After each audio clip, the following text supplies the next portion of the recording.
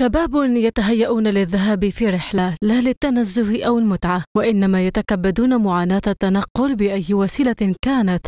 وحمل كل هذه الأثقال فقط من أجل مد يد العون للعائلات المعوزة عبر قرى ومداشر ولاية الصعيدة بتوزيع مواد غذائية وملابس وأفرشة تحضيرا لموسم الشتاء البارد. اليوم راح تقوم الجمعية التضامن وإحسان وفعل الخير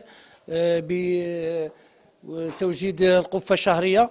وحوالي 160 قفة كل شهر. ونشكر كل المحسنين اللي هم يساهموا معنا ويعاونونا. ونشكر كل شعب ولاية سعيدة اللي يساعدنا في هذه الجمعية. ورب العالمين يخلصهم. وحنا ماذا بينا نطلبوا من المحسنين ثاني باش يزيدوا يعاونونا ونطلبوا من السلطات باش يزيدوا يساعدونا.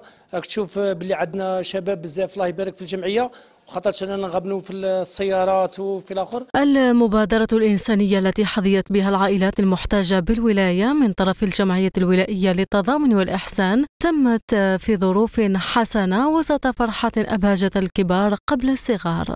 قفة مليحة فيها كل شيء.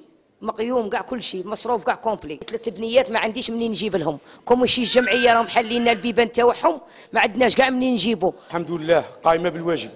ونتمنوا نتمنوا نتمنوا نشوفوا هاد الصوالح في في في بلادات وحدة أخرين كاع إن شاء الله. وهاد الناس اللي يكون عندهم إن شاء الله يعاونوهم. راهم يعاونوا المرضى يعاونوا الناس اللي ما عندهاش. الله يقدرهم الله يقدرهم الله يخلف عليهم والله يجعلها لهم في الميزان المقبول إن شاء الله. الله يكثر الخير عليكم والله يحفظكم والله يستركم والله كل لكم تمنينا إن شاء الله ربي يكملها لكم. جمعية وافعلوا الخير. الله يكثر خيركم وبارك الله فيكم الله يجعل ربي يخلصكم. أول أعماركم إن شاء الله كما فرحتونا الله يفرحكم. الله يشفيكم حج الله يكثر من فيكم إن شاء الله.